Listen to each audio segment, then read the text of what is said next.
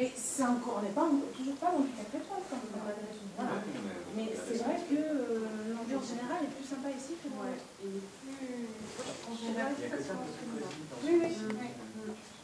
Comme je te dis, tu te, avec l'appartement, tu te sens vraiment plus chez toi, limite. La, la, la Totalement. métro est vraiment... Tu as vu euh, le petit balcon Ah, j'ai pas vu.